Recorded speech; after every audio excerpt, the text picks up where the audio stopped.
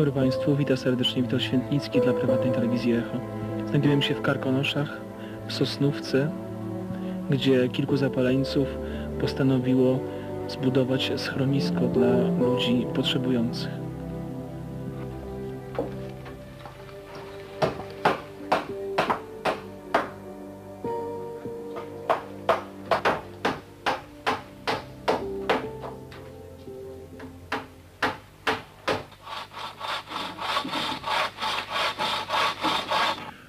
Krzysztof Jadachowicz, główny pomysłodawca e, Fundacji imienia brata Alberta, właściwie tego, tego domu pomocy, prawda?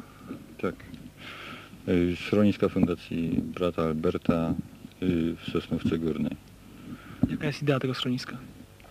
Ideą schroniska jest stworzenie prawdziwie rodzinnych warunków zamieszkania młodzieży opóźnionej w rozwoju, również dzieciom.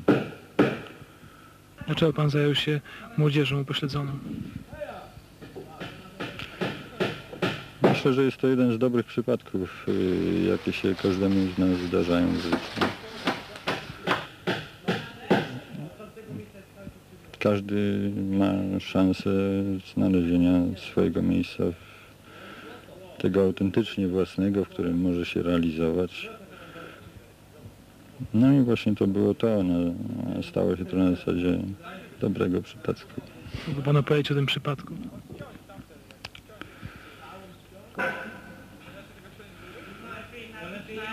Poznałem ludzi upośledzonych umysłowo. Yy, W czasie, w czasie spędzania urlopu w okolicach Zakopanego. Później postanowiłem się nimi zająć poprzez pracę w Domu Pomocy Społecznej. A dlaczego? Myślę, że są to ludzie, ludzie e, tradycyjnie niedowa- niedowartościowani Tak, ja rozumiem, ale dlaczego Pan się zdecydował nagle?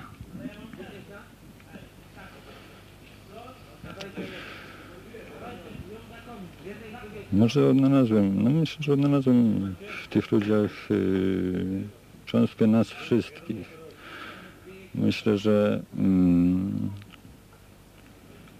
są to ludzie tak samo ważni jak my, posiadający, posiadający te same yy, cechy charakteru, a mimo to yy, przebywający w zamkniętych zakładach.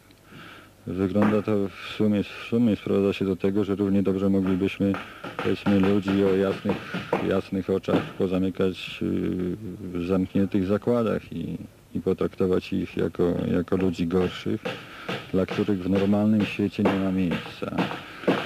Yy, Upośledzenie umysłowe nie może być kategorią wartościującą ludzi. I stąd, stąd idea schroniska, które realizujemy właśnie dzięki Fundacji Brata Alberta.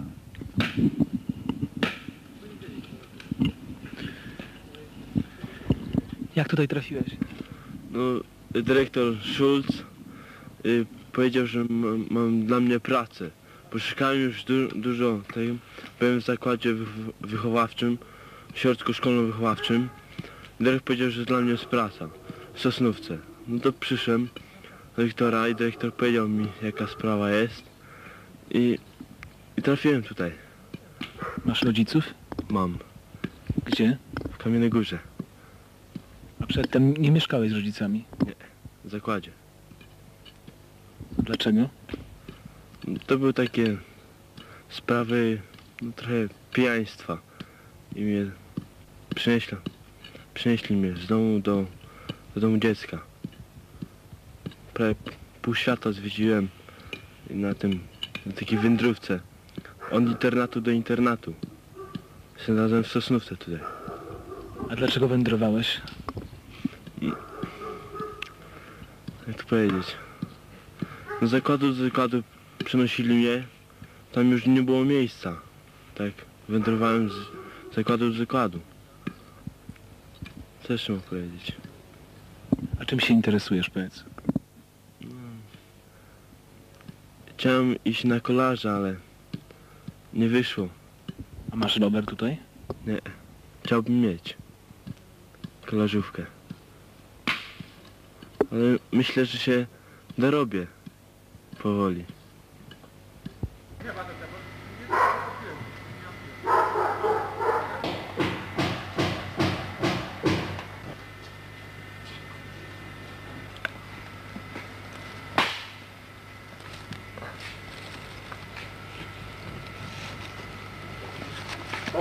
Co tu robisz? Trochę pomagam y, pracownikom deski nosić. Obie, y, talerze trochę zmywam, sprzątam. Dlaczego odszedłeś z domu w Miłkowie? Y, trochę mi się znudziło, bo nie, nie, nie chciało mi się tak jeździć na obozy, bo trochę było zimno za rodzicami, trochę tęskniłem. Mama już zmarła na raka. Tylko tato, tato został brat, siostra i jeszcze ciotkę mam. Ile masz lat? 24. Czy wiesz, który pokój w tym domu, który budujesz, będzie należał do ciebie? Y, drugi to będzie Ju, w żółtym dresie to będzie Józia, ten na- tym czapeczce, co będzie mieszkał. Ja będę mieszkał drugi pokój na górze po lewej stronie. Czy najwięcej przy swoim pokoju pracujesz? Y, trochę najwięcej.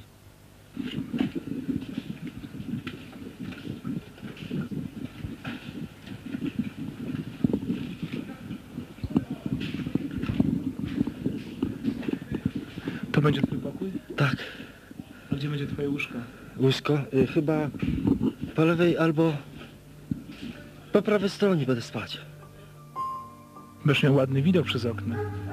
No to nieraz turyści będą trochę z- zwiedzać. To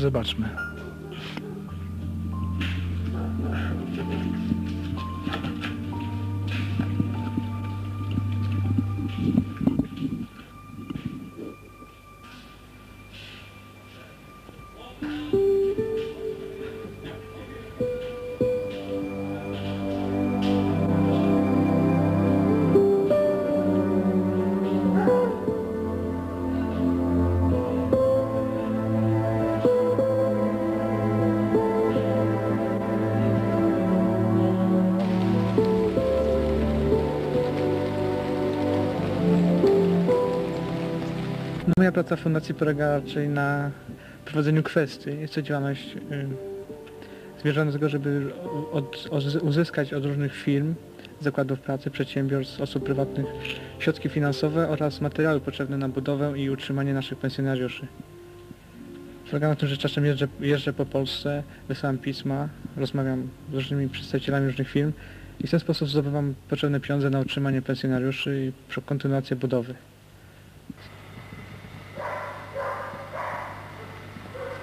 Studiowałeś seminarium, prawda? Wcześniej. Trzy lata byłem w seminarium, aczkolwiek sw- swego czasu zrezygnowałem i zostałem świeckim. Przyszedłem do, świeckich etapów jako, jako człowiek świecki, prawda? Dlaczego zrezygnowałeś? Była to jakaś moja wewnętrzna decyzja, chodziło o mój stosunek, mój wewnętrzny stosunek do Boga, także tam jakoś czu, czu, czuję się, że tutaj mogę być, no, jestem wobec Boga uczciwym, chodzi o uczciwość wobec Boga, żeby moje życie było uczciwe z Bogiem. Opowiedz o tym miejscu, w którym teraz jesteśmy. Znaczy, znajdujemy się w kaplicy świętej Anny, y, leżącej na zboczu góry Grabowiec. Y, Myślimy z czasem po ukończeniu remontu właściwego schroniska dla osób niepełnosprawnych umysłowo kaplicę przywrócić do swojego pierwotnego wyglądu i uruchomić ją do celów religijnych.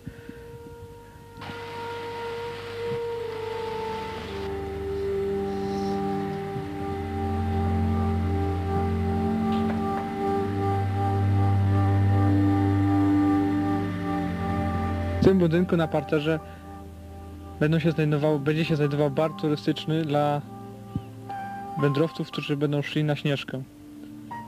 Bar ten będzie obsługiwany przez naszych pensjonariuszy, którzy będą podawali kawę, herbatę oraz drobne pamiątki wytworzone również przez nich. Na górze y, będą znajdować się mieszkania mieszkalne, pomieszczenia mieszkalne dla pensjonariuszy oraz opiekunów. W budynku obok również na pierwszym piętrze znajd- będą znajdować się mieszkania mieszkalne, pomieszczenia mieszkalne, natomiast na parterze zostaną zbudowane i uruchomione warsztaty dla naszych pensjonariuszy, w których znajdą zatrudnienie. Ponieważ schronisko brat Alberta ma zapewnić nie tylko miejsce zamieszkania, ale również źródło utrzymania pensjonariuszy. Oni znajdą też pracę, dom i opiekę wychowawczą.